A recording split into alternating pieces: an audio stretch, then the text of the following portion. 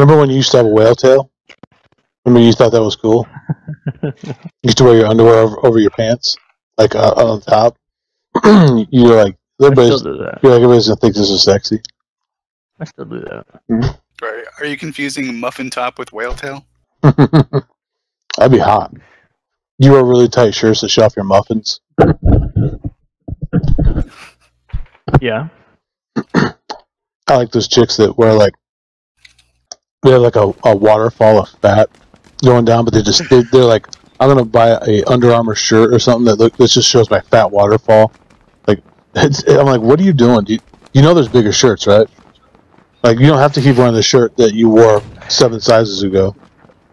You don't know me. Don't judge me. I'll be at any size. Mhm. Nah, bitch. Oh you can't yeah, walk around the right. street without having to catch your breath. Love who you are. That healthy at any size movement, they'll piss me the fuck off. You could be any size, but We're gonna. if you look disgusting, you're cutting down your uh, you- you're cutting down your choices. Jay knows what I'm talking about. Oh yeah. We're gonna increase your insurance because you're a smoker.